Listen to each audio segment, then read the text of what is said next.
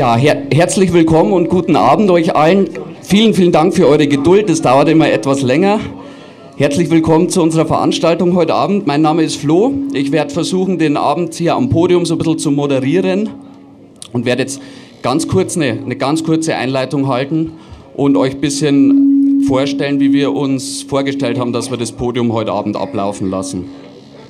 Zuerst aber gilt ein herzliches Dankeschön dem Freitagscafé im Café Maradi, die uns für die Veranstaltung heute Herberge gegeben haben und, und ganz viel helfen und mit, äh, mitmachen bei der Vorbereitung und Durchführung des Abends und den ganzen Freundinnen und Freunden, die im Vorfeld sich um die Veranstaltung gekümmert haben und heute Abend, ähm, heute Abend mitarbeiten, dass das äh, was wird.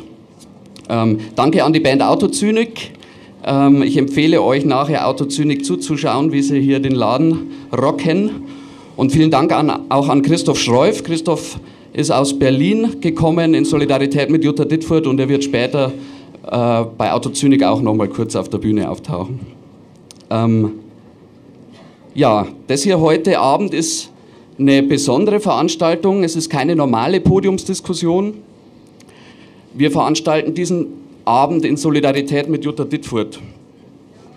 Wir wollen uns konkret solidarisieren, das heißt, alle Einnahmen, die wir heute Abend über den Getränkekonsum und euren Eintritt, den ihr gezahlt habt, ähm, einnehmen. Die gehen an äh, die Prozesskasse für Jutta Dittfurt. Ihr habt mitbekommen, dass dies notwendig geworden ist, eine Prozesskasse voll zu spielen oder voll zu trinken, weil ein Antisemit in Deutschland mal wieder nicht Antisemit genannt werden will. Elsässer, um den geht's, der bedient sich momentan dem Mittel einer Klage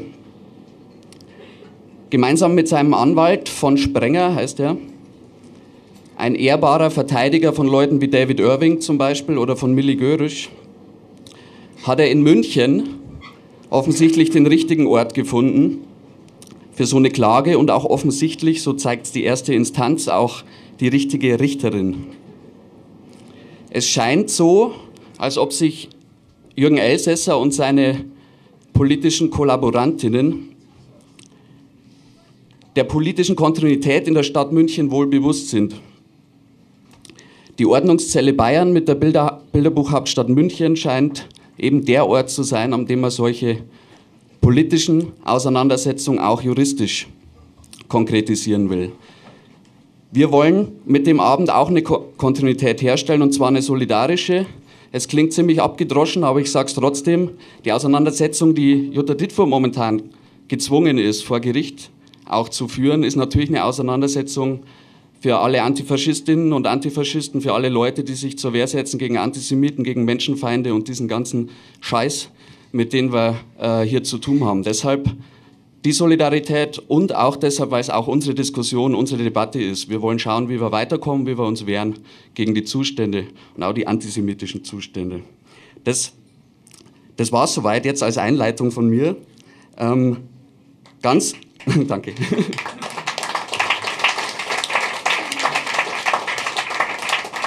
Ganz herzlich begrüßen möchte ich ähm, hier auf dem Podium Thomas Ebermann. Thomas, danke, dass du da bist.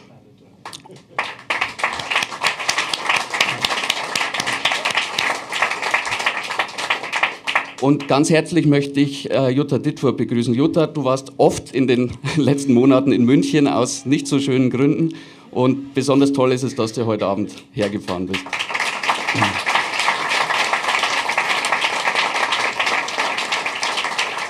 Schönen Abend, der Flo meint, ich soll jetzt anfangen.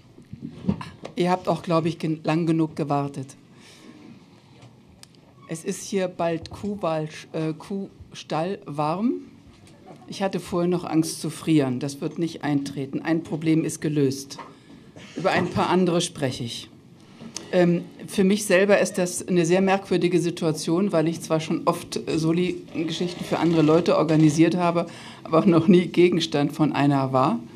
Ähm, das ist ein ziemlich merkwürdiges Gefühl, aber ich wünsche es allen. Ich möchte mich äh, sehr, sehr herzlich bedanken. Ähm, in diesem Jahr ist sehr viel passiert, wovon auch gleich die Rede sein wird.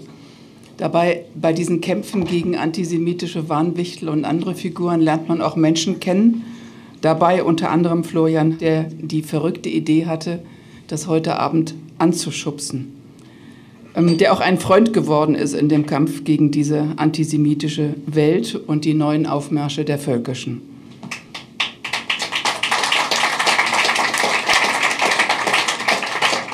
Das hast du jetzt davon, Flo. Danken möchte ich auch Schlamassel, der und die begleitet haben, die Idee.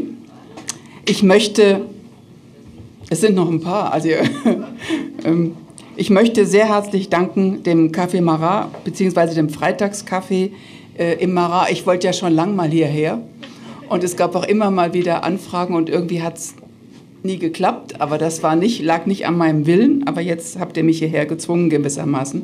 Also euch danke ich sehr, dass ihr euch die ganze Arbeit gemacht habt und ich danke auch vor allem den Leuten drumherum, äh, die so viel Arbeit gemacht haben, ganz konkrete wie Kistenschleppen und organisatorische und andere Geschichten, damit das überhaupt hier zustande kommen kann. Es hat auch, glaube ich, noch nie jemand ein Lied komponiert für so einen Abend. Christoph Schreuf, dir vielen Dank und deinem Mitspieler. Und Thomas, den ich nun schon so lange kenne, ist hier nun auch oft, hat gleich zugesagt, was mich ehrlich gesagt ziemlich überrascht hat. Ja, honorarfrei. Also alle kriegen kein Geld dafür, weil die ganze Scheißknete, ähm, die ihr bitte heute Abend in Geld anlegt. Also ich habe noch nie gesagt, sauft so viel ihr könnt, aber im Moment, im Moment neige ich dazu. Jetzt wird es vielleicht ein kleines bisschen sachlicher ich muss ja den Gegenstand erstmal klären. Also warum ist es so, manche Leute sagen, warum musst du dich mit dem rumstreiten? Das ist keine zulässige Frage, ähm, weil erstens muss man sich mit Antisemiten, wenn sie einen gewissen Einfluss haben, selbstverständlich rumstreiten oder auseinandersetzen. Und das andere ist, ich habe nicht gegen jemanden geklagt, sondern jemand hat gegen mich geklagt.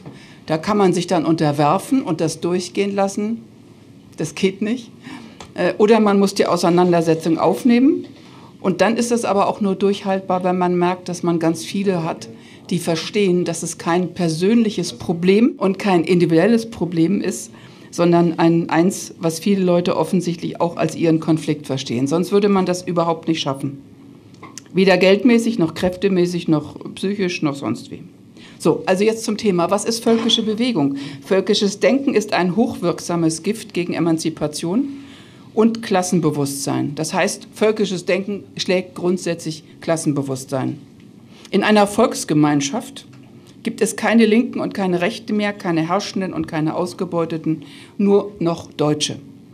Ein Volk, ein Gott, ein Reich ist das rassistische Koordinatensystem der völkischen Bewegung, die im 19. Jahrhundert entstand. Ihre Wurzeln liegen in den deutschen Gegenbewegungen zur französischen Revolution, dem großen Schreckgespenst der deutschen Elite, in konterrevolutionären und anti-emanzipatorischen Strömungen wie der Romantik, den antinapoleonischen sogenannten Befreiungskriegen, in der verspäteten Nationenbildung und im deutsch-französischen Krieg.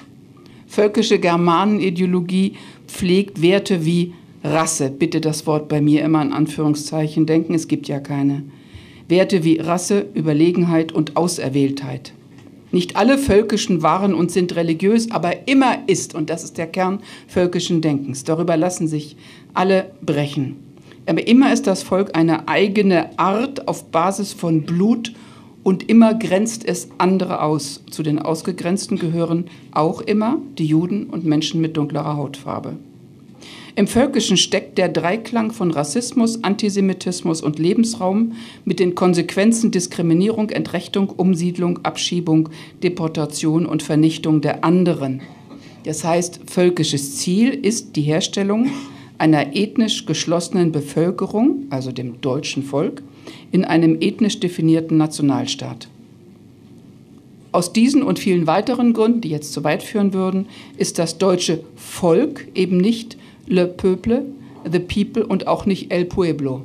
Das wird zwar so übersetzt, ist aber komplett falsch. Es hat eine völlig andere Bedeutung, die ich eben angedeutet habe. Die soziale, soziale Utopie der frühen Völkischen, und da schließen sich historische Zirkel, war ein großgermanisches Reich von Skandinavien bis zur Adria, von Bologna bis zur Narva, von Besançon bis zum Schwarzen Meer. Das bringt uns zu den geostrategischen eurasischen Konzeptionen der heutigen großrussischen Nationalisten vom Reich von Lissabon bis Wladiwostok. Einer dieser eurasischen Ideologen, das sei nur nebenbei erwähnt, ist ein gewisser Alexandre Dugin, ein Soziologe, großrussischer Nationalist und einer der zentralen eurasischen Strategen, als dessen Jünger Jürgen Elsässer zu betrachten ist. Den interviewt er für seine Zeitung, an dem orientiert er sich ideologisch, auf Konferenzen dessen Dunstkreises wird er eingeladen und so weiter. Die NSDAP nahm sich den Begriff völkisch, die völkischen Bewegungen waren ihr ja vorausgegangen, sind eine der Wurzeln, die zum NS-Faschismus führten. Ideologische nahm auch ideologische Elemente und Symbole wie das Hakenkreuz und etwa den Heilgruß, integrierte ideologische Fragmente, Symbole, bestimmte ästhetische ähm, Elemente, Träger solcher Gedanken, ganze soziale Gruppen und Milieus. Alle Völkischen, darunter viele demobilisierte Militärs, waren Feinde der Weimarer Republik und unterhielten Verbindungen zu rechtsradikalen Wehrverbänden, beteiligten sich am Kapp-Putsch 1920, am Hitlerputsch 1923 und waren in Attentate und Fememorde verstrickt. Organisierte Völkische zogen in Länderparlamente und in den Reichstag ein. Konkurrenzen zwischen NSDAP und früher völkischer Bewegung blieben ohne Bedeutung. Dass der Begriff völkisch jetzt so begehrt sei, sei eine Folge des Wirkens der nationalistischen Bewegung, schrieb ein gewisser Adolf Hitler in Mein Kampf. Über die Zeit 33 bis 45 muss ich hier wirklich nichts erzählen. Ich will nur andeuten, dass völkisches Denken sehr, sehr unterschiedliche Erscheinungsformen hat und nicht nur die, über die wir heute Abend vielleicht reden. Ein Beispiel, es wird vielleicht manche stören, ärgern, irritieren, ist etwa die Fantasy-Literatur und Fantasy-Filme. Äh, ich weiß nicht, wie viele von euch mit einiger Begeisterung Herrn der Ringe gesehen haben, den Vielteiler. Die Elben als edles Volk, schön, groß, hellhäutig. Die Hobbits, tump, klein und gedrungen, niedlich, Spießbürger, aber auch Lanzer im aufopfernden Einsatz für die edle Rasse. Und die Orks, böse. Böse ist immer dunkel, unwertes Leben, das die Lichtgestalten bedroht und das vernichtet werden muss. Oder Beispiel, als die Piraten als Partei aufkamen, fiel mir in Diskussionen, die ich mit Leuten aus ihren Kreisen hatte, auf, dass wenn ich über Marx oder Marcuse sprach oder auch halb so anspruchsvolles Zeug, vollkommen ahnungslose Kinderaugen äh, mir entgegenblickten. Aber sobald, und das habe ich dann irgendwann einfach mal als Idee gehabt, es auszuprobieren, sobald ich mit bestimmten Figuren aus bestimmten Mystery-Filmen oder äh, Literatur kam, volles Verständnis bis ins Detail der Kleidung, der Verhaltensformen, der Kommunikationscode. Ich war überwältigt, wie viel Detailwissen über Schrott man haben kann. Eine andere völkische Fraktion hat als Ideologen den ähm, Herrn Elsässer, der früher ein Antideutscher war, wir erinnern uns beide, Thomas, und der heute seine Reden bei den Warnwichteln oder bei Pegida, Legida oder sonst wo mit dem Satz beginnt, mein Name ist Jürgen Elsässer und meine Zielgruppe ist das Volk. Was ist eigentlich eine Querfront? Der Begriff Querfront stammt vermutlich aus den 1930er Jahren. Es gab solche strategischen Ansätze in der konservativen Revolution, die dem NS-Faschismus als tragend und vorbereitend vorausging. Eine Strömung der Konterrevolution in der Weimarer Republik war. Einer ihrer Ideologen war Arthur Möller van den Bruck. Er propagierte in seinem Buch Das Dritte Reich eine Verbindung von Nationalismus und Sozialismus. Ich komme nachher noch zu Leuten in der neueren Bewegung, die sich Linke nennen, die irgendwie ganz ähnlich argumentieren, aber sich als Marxisten verstehen möchten. Ähm, also dieser Bruck propagierte eine Verbindung von Nationalismus und Sozialismus, das Bündnis mit der Sowjetunion und die unbedingte Gegnerschaft zur USA. Für diesen nationalen Sozialismus stand in der NSDAP der sogenannte linke Flügel mit Ernst Röhm und den Brüdern Strasser. Querfront ist, und ich mache es ganz extrem kurz, Notwendigerweise fällt viel raus. Querfront ist eine rechtsextreme Bündnisstrategie, bei der versucht wird, ideologische oder programmatische oder personelle Andockstellen zu linken oder alternativen oder auch linksbürgerlichen Milieus zu finden, um das völkische oder faschistische Lager zu vergrößern. Üblicherweise ist das Bindeglied eine positive nationale bzw. völkische Identität. Waren nach 45 von denen, die sie wollten, ein bisschen schwer durchzusetzen. Oder vielmehr die ursprünglichen Ideologien waren ein bisschen schwer in einer Welt nach der Shoah, nach dem deutschen Überfall auf große Teile Europas, nach dem millionenfachen Massenmord, nach der Folter, dem Niederbrennen ganzer Länder, wussten die überlebenden, überzeugten Faschisten, dass sie jetzt vorsichtig sein mussten, wenn sie ihre Weltanschauung weiter verbreiten wollten. So kam erneut und nicht zum ersten Mal etwa die Querfrontstrategie zum Einsatz. Ich will nur ein paar Beispiele antippen. Einige werdet ihr kennen, die Älteren unter euch, äh, einige nicht. Das erste war etwa ein Projekt Collegium Humanum in Floto, Nordrhein-Westfalen. Ein alter Faschist, Schützling von Rudolf Hess, sein Name Werner Georg Haferbeck, NSDAP-Mitglied, gründete 1963 dieses Collegium Humanum in Floto und leitete es mit seiner Frau Ursula Haberbeck-Wetzel. Die förderten einerseits offen Nazi-Projekte und andererseits haben sie gezielt und sehr erfolgreich äh, versucht, in alternative Bewegung reinzukommen. Die sahen alle, dass sozusagen nach 68 und den 70er Jahren es da eine Gegenbewegung gab, subkulturelle Milieus, und sie dachten, sie könnten da, wenn sie ihre Sprache umschreiben und bestimmte Angebote machen, Erfolg haben. Wir haben das dann irgendwann gemerkt und ähm, spätestens als Frau Haferbeck in Begleitung eines Mannes auftrat und der Satz begann mit das mit den sechs Millionen sei nicht wahr, flogen die raus. Erst 20 Jahre später 2008 wurde das Kollegium Humanum wegen anhaltender Holocaustleugnung vom Bundesinnenministerium verboten. Das zweite Beispiel, NPD versuchte 1977 äh, eine grüne Partei zu gründen, die Anti-AKW-Bewegung. Die Militante der 1970er Jahre schien zerschlagen, sodass möglicherweise dachten die, ein Vakuum entstanden sein könnte, sich der ökologischen Frage in faschistischer Interpretation anzunehmen. Das war ein Projekt der NPD und der jungen Nationaldemokraten. Drittes kleines Beispiel, ein bisschen mehr in der näheren Zeit, die Nationalrevolutionäre um Henning Eichberg. Eichberg bezog sich auf Otto Strasser und Technikisch. Die Nationalrevolutionäre bezogen sich auf den Kampf gegen die Supermächte USA und Sowjetunion. Sie sprachen vom dritten Weg zwischen Kapitalismus und Kommunismus, auch das kennen wir heute. Ihren Rassismus verfeinerten sie und das war ihre Spezialität. Ihren Rassismus verfeinerten sie zum Ethnopluralismus. Damit war die kulturelle, ethnische Reinhaltung, wieder Anführungszeichen, von Staaten und Gesellschaften gemeint. Die Ethnie wird hier nach Zugehörigkeit zu einer sogenannten Kultur definiert, um sie so von den vermeintlich Fremden zu unterscheiden. Eichberg und seine Nationalrevolutionäre, die kräftig in äh, alternativen Milieus fischten, bestanden auf der kulturellen Verschiedenheit von sogenannten Rassen mit einem jeweils eigenen Existenzrecht. Wenn wir also heute in faschistischen Kreisen hören, wir sind gar nicht rassistisch, jedes Volk soll seinen Raum haben und die anderen sollen auch leben, aber da, wo sie sozusagen originär herkommen, dann ist das genau ein Ausdruck davon. Wir finden ziemlich viel davon wieder etwa bei den Identitären. Viertes Beispiel, eine ganze Reihe von, die will ich nur kurz streifen, die Auseinandersetzung in Ökologiebewegung, in in linken Bewegungen in den 90er Jahren bis heute mit esoterischem und ökofaschistischen Gedankengut, wo das alles drin ist. Sozusagen äh, faschistische Konzepte von Umwelt, von Gesundheit, von dem, was Leben überhaupt eigentlich bedeutet.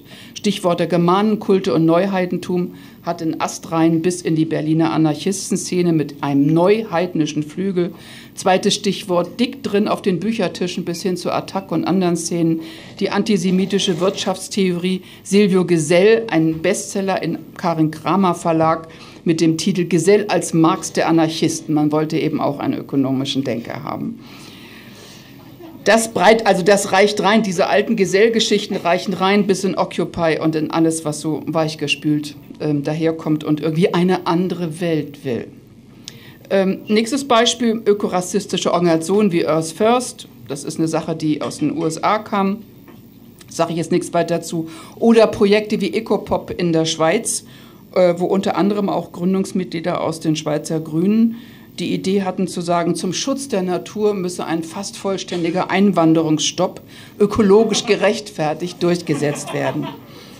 Ähm, Tierrechtsprojekte wie Peter oder die Schule von Kaplan und Singer die mit ihren Hühner-KZ-Vergleichen und ihrer Entwertung behinderter Säuglinge bis zur Infragestellung ihres Lebensrechtes gingen und so weiter und so weiter. Das heißt, in, in, in allgemeiner Form, in kapitalistischen Zentren reagieren große Teile des Bürgertums, wie die Heidmeier-Studie, die Bielefelder ähm, Heidmeier-Studie, in Krisen autoritär, das heißt, dass bei Bedrohung oder auch nur eingebildeter Bedrohung äh, der eigenen sozialen Lage, der eigenen Privilegien äh, nicht nur immer rassistischer und antisemitisch reagiert wird, sondern eben auch sozial verächtlich, abwertend gegenüber allem, was andere Vorstellungen hat. So, das war so ein bisschen allgemein, einfach nur ein ganz kleines bisschen zur Begriffsklärung.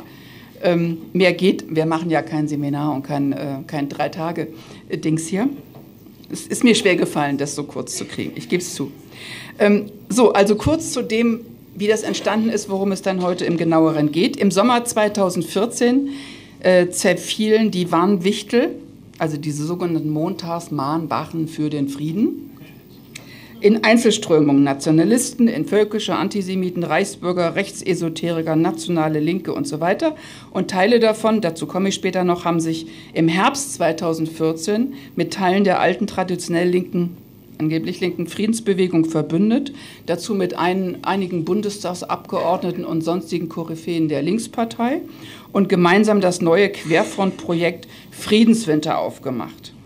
Aber vielleicht noch mal zwei, drei Sätze weil das verschwimmt schon so langsam nach dem Motto, ähm, das war ja schlimm, oder jetzt Pegida und das ist noch schlimmer.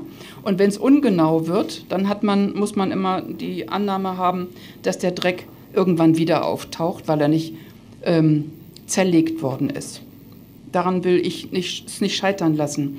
Es gibt, was die sogenannten Mahnta äh, Mahnwachen für den Frieden angeht, eine Studie der Technischen Universität Berlin, ähm, die unglaublich oft benutzt wird, um zu sagen, guck mal, wie links die Mahnwachen waren. Die haben ja ganz viele ähm, Linksparteiwähler dabei oder Leute, die sich positiv auf sonst irgendwas positiv äh, konnotiertes beziehen und ganz wunderbar. Deswegen vorweg ein kleines Logikrätsel. Wenn ein Mensch, stellt euch irgendeinen fiktiven Menschen vor, an einem Tag, wir nehmen einen Mensch und einen Monat, an einem Tag einen Menschen, einen Flüchtling erschlägt, an 28 Tagen aber seinen Müll trennt und seine Kinder nicht haut und am 30. Tag Linkspartei wählt, ist er dann a. ein weitgehend friedlicher Mensch, b. ein linker Wähler oder doch nur ein rassistischer Mörder? Das im Kopf will ich ein bisschen deutlicher sagen, was diese Studie ganz gegen. Hä? Nein, was diese Studie ganz gegen ihre Pressevermarktung, also die haben das auch mit dieser weichgespülten Sache. Dabei kann man, die Studie, die ist schlecht gemacht, es fehlen, egal, Soziologe, als Soziologin sage ich, das ist eine sau unterdurchschnittlich gemachte empirische Sozialforschung, aber egal, das ist jetzt professionelle Deformation, das musste sein. Sie haben herausgefunden, dass 91 Prozent der Teilnehmer der Berliner Mahnwache wenigstens teilweise glaubten, dass Amerika bzw. das amerikanische Militär Militär nur der Knüppel der, F der FED ist, also der US-Notenbank, die in diesen Kreisen auch immer noch als jüdische Privatbank konnotiert ist. 91 Prozent dieser angeblich doch vorwiegend irgendwie linken Masse glaubten, dass die FED und die Juden überhaupt sozusagen so mächtig sind, dass sie auch die USA, den ganzen Kontinent Amerika und das amerikanische Militär in der Hand haben. Zweites, ich nehme nur drei Beispiele. 47 Prozent der Befragten waren Wichtel, und die wussten, der, der Konflikt um sie tobte schon Wochen. Das heißt, die wussten, welche Antworten sie zu geben hatten, wenn sie so oder so dastehen wollen. Aber zu 47 Prozent sagten sie, ganz oder teilweise, dass sie glauben, dass die Zionisten an den Hebeln der Macht sitzen. Und das Dritte ist, eine Mehrheit wünschte sich, wenigstens zeitweilig, einen Führer. Also beantwortet das Quiz, sind das jetzt weitgehend friedliche Menschen, linke Wähler und doch irgendwie potenzielle rassistische Mörder oder zumindest in ihrem Umfeld. Sie glauben natürlich an die jüdische Weltverschwörung und hätten gern einen Führer. Genaueres zu den ideologischen Wahnvorstellungen ergibt sich manchmal in diesen Fluten. Also ich muss sagen, auch als, als, als politisch aktiver Mensch und ähm, Schreibende, ähm, haben digitale Netzwerke einen großen Vorteil, man kriegt die Empirie echt ins Haus geliefert. Jimmy Conway, der gegen mich ähm, die Mannwachen verteidigen wollte, schreibt bei Facebook, die Juden sind keine Juden, sondern Satanisten. Darum, darum darf ich gegen Juden sagen, was ich will. Und, und um von unserer Unterjochung durch jüdisch-satanistische Pornografie und das jüdisch-satanistische Finanzsystem abzulenken, haben diese Satansjuden den Holocaust erfunden, um uns, wer immer das uns sein mag, das Völkische, damit noch mehr zu unterjochen.